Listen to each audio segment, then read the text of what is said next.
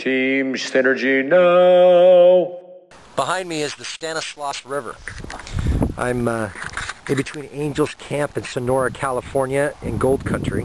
Isn't it beautiful? This time of year all the rolling hills are green.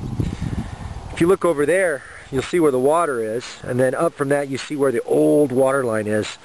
When we first got here in October, it was down about that far again.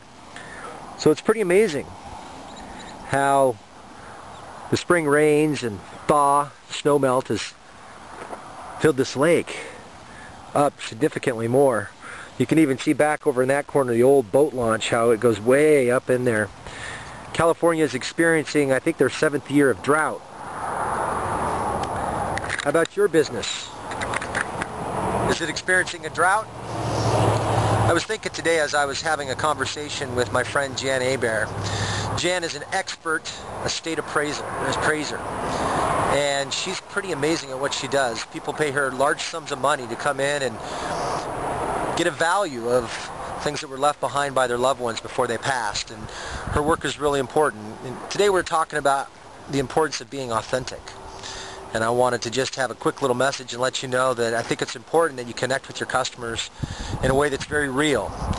And the only way that really happens is if you go to work on yourself. If you do some things to make yourself improve the way you communicate, the way you think, and the way that you relate to others.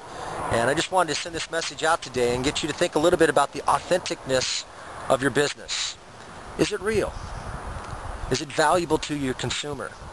So much what is, so much of what is out there today is based on making a profit and not providing value.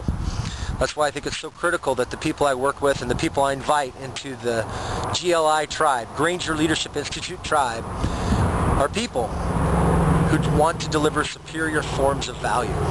And I show you how to do that.